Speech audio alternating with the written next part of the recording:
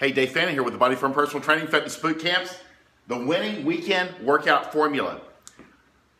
Struggling over the weekend is a universal thing, whether it's my newer clients trying to get into the game or when you're talking to people that have been training for some time, it's a classic.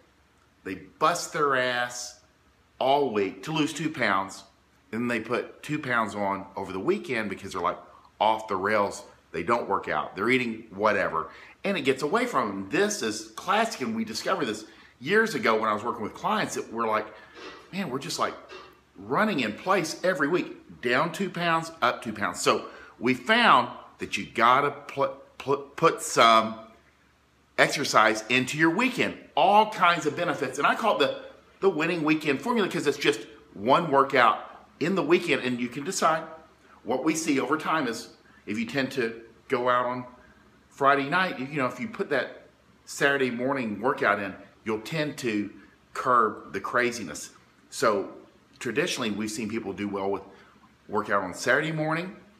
Sunday morning, if you're looking at like longer cardio, they'll tend to do some type of recovery workout like yoga um, or cardio on Sunday evening. What is key is choosing that one workout over the weekend will help you because when you work out, and the research backs this up, not only is it the workout, you're not, don't even think about the calorie reduction. It's, there tends to be carryover from every session of exercise that you have. And when you exercise, there's carryover to, you'll tend to eat better, you'll make better nutrition decisions, you eat less junk food, and you tend to take in fewer calories throughout the day on those days that you exercise. And the research backs this up. So the winning weekend formula is just one workout. If you find yourself struggling to stay on track, just focus in on, don't even worry about the nutrition too much the first couple weekends. Just focus in like two to three weekends in a row. I'm going to get one workout in. And I think there's two things that are key to this is the benefits are not just what the workout. It goes beyond that. It's one, it increases your consistency. If you're working out two times a week, it's adding in that workout. It just increases your consistency over time. You're getting in that extra workout.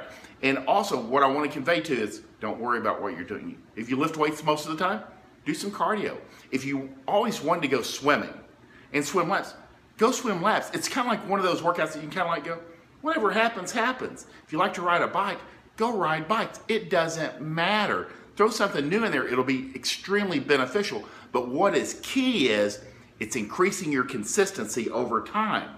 And two, it changes your mindset about exercise. For a lot of people, especially when they come in, they've never exercised until they're adults, exercise is kind of like a job. Monday through Friday, they're in it, and then on weekends, they're like, oh, I don't have to do this shit. What you want to do is change that mindset over time from something you have to do to lifestyle.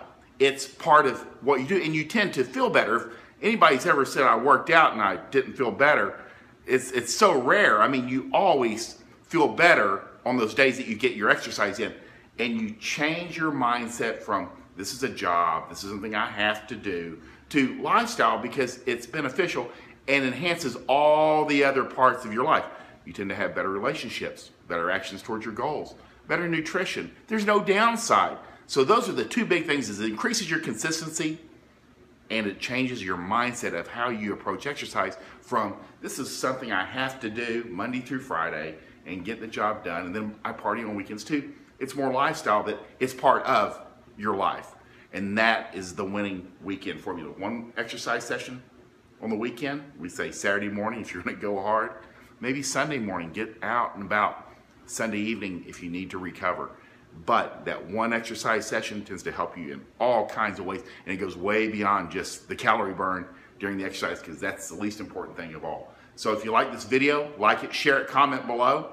And I'm Dave Fannin with the Body Firm Personal Training Fitness Boot Camps. If you're looking for a consult, you can privately message me here on Facebook. I'll talk to you guys later.